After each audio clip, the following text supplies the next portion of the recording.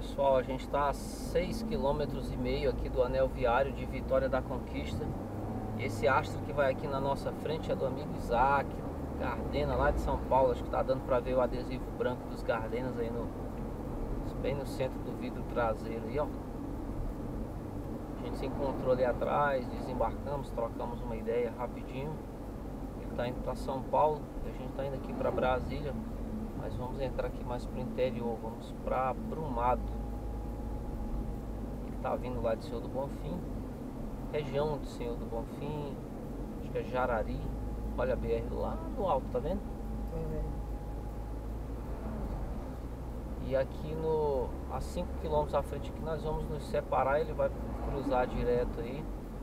E eu vou entrar pro interior. Eu acho que ele vai pegar uma estrada ruim aí pra frente. Lá mais na frente, né? Na divisa com Minas, pelo que o colega caminhoneiro falou lá atrás. A 116 lá pra dentro tá, tá complicada. E aí, ó, perímetro urbano de Vitória da Conquista. Ei, tio Zé, lembrei do senhor, viu? Da Noquiméria. O senhor já circulou por aqui um bocado, né?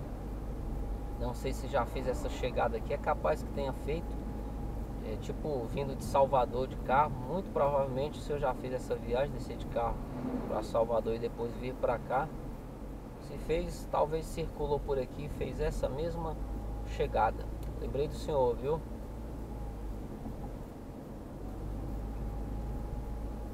Gasolina nessa região, pessoal, tá 5,60, viu?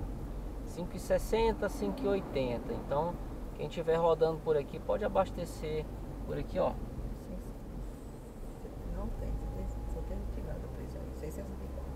Aí, aqui já. E nesse posto aqui, mas tinha um bem aqui atrás, estava 5,60.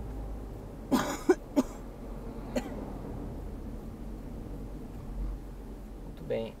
É, aqui nós vamos entrar num trecho que a viagem não rende para quem vai cruzar. Não é o nosso caso. Logo mais ali na frente, 4 km agora, 4,5 nós vamos entrar à direita. Pro interior da Bahia, pro sertãozão, né?